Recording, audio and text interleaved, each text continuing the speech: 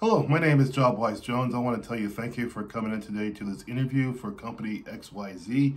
To the right of me is Marty, to the left of me is Michael. What they're going to do, they're going to take notes during this interview, so I don't want you to be alarmed by that. It's just part of the process. Number two, I want to tell you before we start the interview is that we're not here to ask you difficult questions or questions that will make you freeze up. We are really here to get a really good grip on what kind of fit you would be for a company, okay? So now without further ado, let's get on with the interview. So tell me about yourself.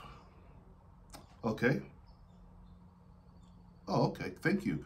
Uh, walk me through your resume. Yeah, let's review your resume. Uh-huh. Okay, all right.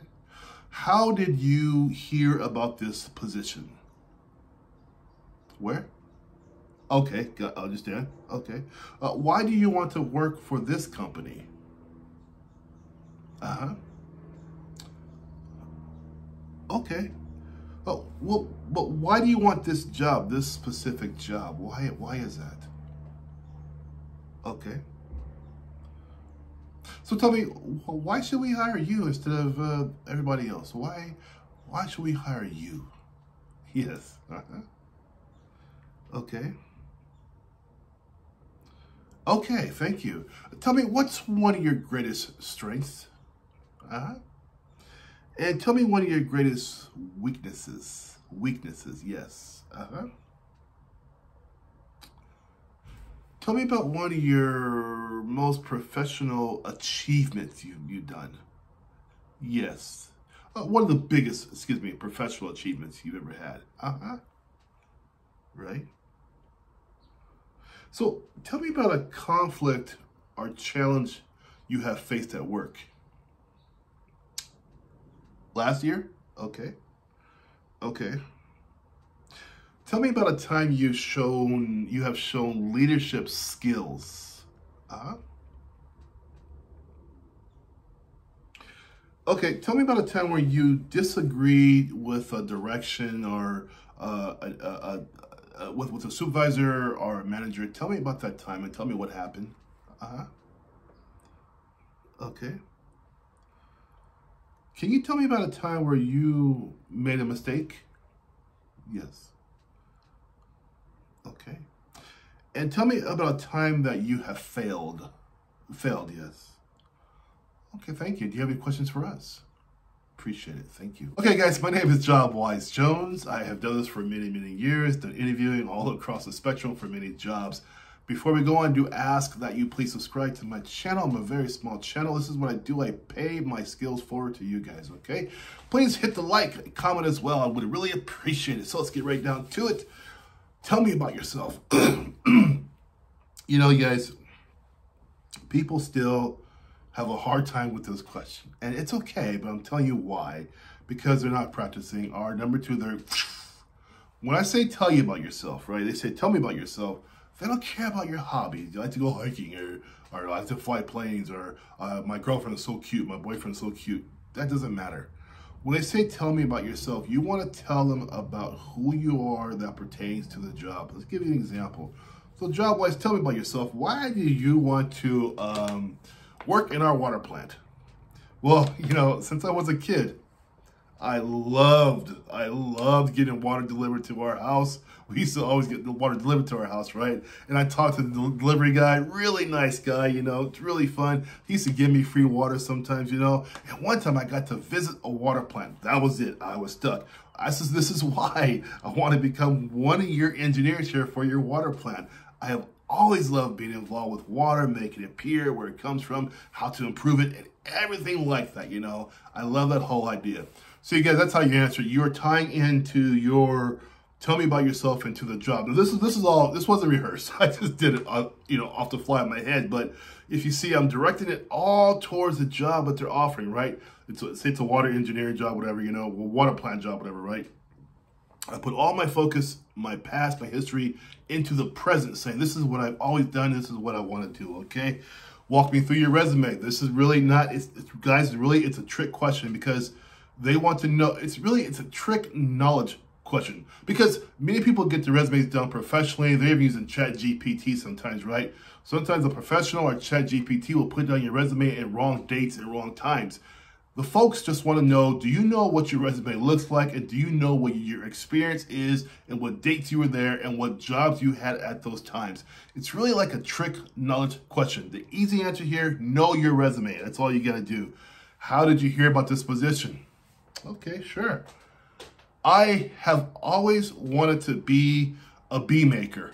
I've always wanted to join any kind of bee making company. Your company is the only one out there I know that makes bees. You know, the stuffed animal bees that you guys make. I've always wanted to make stuffed animals in the shape of bees. I, I love that.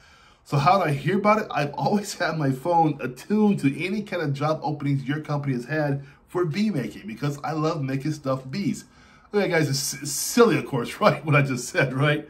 But you're saying, though, you've always been watching their company for openings. Why? Because they make stuffed bees and you're a bee maker. You're showing an eagerness, right? Let's go back to communication as well. Verbal communication. Verbal communication is only 7% of communication. The rest of 93% is non-communication, correct? What does that mean? It means my hands, my shoulders, my eyes are alight. I'm, I'm alive because I want to make stuffed bees, right? So I know it's a silly concept, but I'm just saying though is that I really am pushing for that job because I'm always paying attention to when you guys have job openings, okay? Why do you want this job? Almost the same way, you know? Why do you want this job? Because I really think I'm one of the best stuffed bee makers out there. I make the excellent details from their eyes to their wings to their stingers, you know? I make all that detail, yellow and black and the awesome colors, you know? I want this job because I know I'm the best fit for this job. So there we go, right? You're answering with some confidence. You're smiling though too. You talk about the colors, how it, it makes you happy. You guys, this is what they're looking for. You know, in any job you answer, when they say, why do you want this job? I don't care if it's a doctor, a truck driver, it's a whatever, medical assistant, whatever. When they say, why do you want this job? It is your chance to express yourself and at the end of it, to brag a little bit. This is why I know I will be a good fit for your company. You see, you're really getting into the answers. Do not be a drone at your interview, guys. I keep saying this because I see drones week in and week out. Yeah, I'd be a good bee maker because I like bees and bees go buzz, buzz, buzz. No, no, guys. You understand? You want to really get into these answers, right? Why should we hire you? Same reason as, as it's almost uh, it's almost a redundant question, right? Hire you, want the job. It's almost the same thing. What can you bring to this company? I bring integrity. I bring a sense of really strong, tenacious behavior. I like to work with people. I'm an awesome team player, but I'm also, if you need me to, to work alone, I can do that too. I bring joy, I bring happiness, I bring good feelings to this job. This is why I want to work here because I bring what I believe you want as employees for this job. You see, again, you're, you're, you're, you're joyous, you know, you're happy, you know, you're not, you're not overboard, right? But you're happy, you know, you're happy for this opportunity, you're happy for the interview. Guys, here's a safe thing I'll tell you. At the interviews I, I've been on for years now, even firefighters, police, nurses, whatever, people, interview boards are really looking for more energy and more enthusiasm. They want to know that you're interested in working for them. They really want to know this, you know. So be enthusiastic. Don't sit there like a log. They, they don't want to deal with that anymore. Those days are gone. They're old, okay? What's your greatest strength? I don't know that answer. Bring up your greatest strength, but make it, make it attached to your personality. Don't bring up some nonsense like I, I make good food or I ski. No, no. Strength is like the biggest one I want to hear today, any interview panel wants to hear is integrity. I'm a very honest person. I'm a very trusting person. I really believe that honesty is the best policy. Stuff like that. You want to be a very honest person anyway, right? But you want to express that at the interview, okay? What's your greatest weakness? Always turn the weakness into a strength. So what do I mean by that? Well, you know, as a nurse, I know I work 9 to 5 and I they hate when I do overtime, but sometimes about 4.45 I start talking to a patient and, you know, we're talking, I'm happy, we're because I'm learning about my patients, you know, and I look at the clock, it's 5.15. Uh-oh, you know, I'm 15 minutes overtime. But I love talking to my patients. So yeah, you're going against the policy of overtime. Oh my gosh. But what's the benefit? You're talking to patients. So that's a really, really big deal. That's how you turn a weakness into a strength. What's your greatest professional achievement? Whatever it is, make it awesome. Tell them what it is. Keep it under a minute. That's all you got to do. Tell me about a challenge or conflict you faced at work and how did you deal with it? It's like a script, guys. It's really easy. Here's what I want to tell you. It's like a three or four answers, okay? Whenever I have a challenge at work, say with a colleague, I always find somewhere private, you know, and I pull them aside. I ask them, can we talk behind this door here for a minute? If they're agreeable to that, then we go behind the door and I tell them what happened or how I feel in a very smooth, calm tone voice, not aggressive at all. Just tell them how I feel about a situation. And then after two minutes, I stop, then I ask them how they feel about that. And they talk for two minutes and we go back and forth, have a nice, cordial conversation. Now, at the end of the conversation, if they don't agree with me or they feel more hostile, they feel irritable by me, then at that point I will ask us, can we just stop the conversation? And number three, I would ask for a supervisor to come in and mediate between the two of us to find some kind of solution. Because at the end of the day, I had to work with these people for 40 hours a, week, and they're my part of my work family.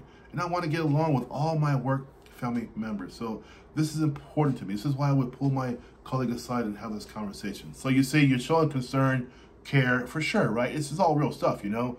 You pull them aside first, one on one. Don't broadcast for everybody else. That starts rumors and drama. Number two, you, you're calm, you know, you like this, you know, you talk to them, whatever, tell them how you feel, whatever, for two, two minutes. Don't drone off for an hour. Nobody wants to hear that crap. Talk to them for two minutes. They talk two minutes. If you can't still get a resolution, bring in some management people in there to have a nice talk with both you guys there to figure out the solution to your problem.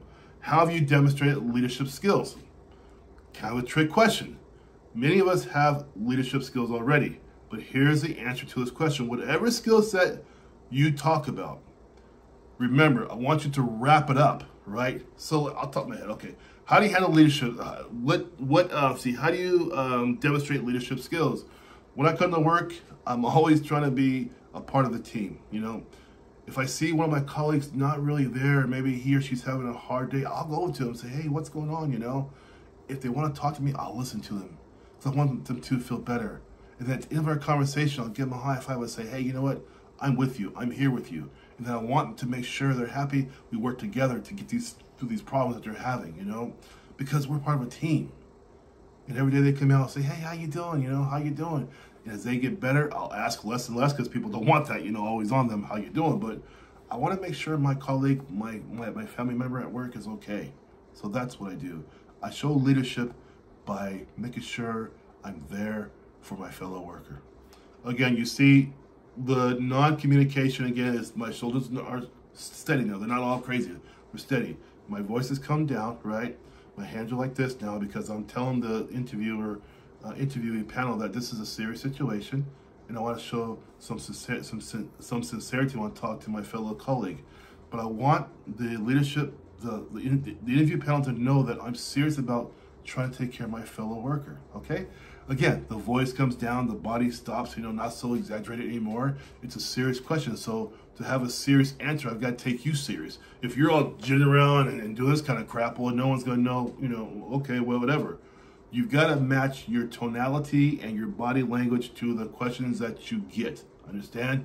People miss that all the time in interviews. They use the wrong energies for the right questions. And it's just crazy to me sometimes. Pay attention to the question if it's a light question, answer lightly. A heavy question, tone yourself down, put in the heavy, heavier eye contact, hands across, you answer the question. Okay, guys? There we go. About the time you disagreed with a decision that was made at work. So sometimes your boss will give you a decision you don't like, you don't think is right. What I would do, I would talk, I would ask my boss, yeah, 15 minutes, talk to me a half hour, whatever. The boss would say yes, then I would go talk to him and tell him respectfully what I think about the decision and why it is. Now, at the same time, I'll tell my boss, well, I know you have final say, ma'am, but this is what I, I think we should be doing, and that's it. So what you're doing, if they say, if the boss says, you're saying to them, yeah, okay, the boss has final say, of course, because there's a boss, right? But you're showing the panel that you're not, again, you're not, you're not a drone. If you think something's wrong, you will respectfully go to the boss and say, well, maybe we can look at this way instead, okay? If they still say no to you, it's fine. But you're speaking up. Businesses do not want drones. They want people who can fake. Okay, so that's a big one for you when you answer that question. Tell me about a time you made a mistake. I don't care what the mistake is. Uh, who cares about that? Here's the deal with that question. It's not the mistake you made. The answer is how you recovered from that mistake. Example, right? Well, one time I told this patient, because I'm a nurse, the wrong medication. Oh my gosh, I couldn't believe it. So what I did, I called him as fast as I can. I told him, please, no, no, no, don't do this medication, do this medication. And then when they got back from the pharmacy, I made them read to me on over the phone what the medication was, how much supposed to take. I made sure the doctor knew exactly what they were taking now, the new medication they're supposed to be on. Everything was on par, and then we were fine. So there we go. The mistake was the medication. We get that. Okay, fantastic. But the interview panel is looking for how you recovered. It doesn't matter what example you use, guys. It doesn't matter what example you use. Always put recovery into the answer. How did you recover from that boo-boo, right? That There you go. Time that, that you failed. That's easy, you know? Tell them the same thing again. But every time, if you fail or make a mistake, it's not the failing, it's not the mistake. We all know you're human like we are on the panel. But what the question really is asking you, how did you recover from the mistake or the failure failure that we that you made, right? And if you say there and say, oh, gee, a mistake, a, a, hmm, a failure, hmm, you don't want to be that person. You want to be prepared for this interview. Now, every question I give you here from my list of the most popular questions I get all the time in interviews, it doesn't mean they're going to be on your interview board, but it does mean this. If you're practicing with me and you watch this video three or four times, whatever, it's going to help you prepare for the unknown, right? Because some questions here you might not be ready for, but they might come across on, on the interview, okay? Last question always is, do you have any questions for us? Yes, every Jobwise Jones already knows the answer to this question. We always have questions for you. Why? Because our interviews are a one-way street or two-way street. They are a two-way street. They're interviewing you and you're interviewing them as well. You understand that, guys? Don't say, oh, I got to go for an interview on Wednesday. They're going to interview me. No, they're not. No, they're not. They're going to interview you and you are going to interview them, okay? Don't give up your power of who you are. You know, you're offering a service, they're offering pay, right? If you're this awesome worker, you better be interviewing them because your skill set is awesome. It's a great, even if you're a beginner worker, first job you ever had, just your enthusiasm, your newness is awesome to have in an environment. It's contagious to see somebody who is happy all the time, and it's, that's awesome people you want in the environment, all right? Do not sell yourself short. They're just not interviewing you. You are going to interview them as well, okay? Don't give them all the power. That's ridiculous, okay? Do not give them all the power, all right? So you guys, this point here, please subscribe to my channel. Please comment down below about your best interview you've ever had. I want to hear that, okay? Also, if you have a personal request for me, jobwisejones at gmail.com. I'll make a video out of your question. And as always, please subscribe. Do not be part of the 88% just look around and go away. No, subscribe and help grow this little tiny itty bitty channel. I would really appreciate it. You guys have a good day and take care. Bye-bye.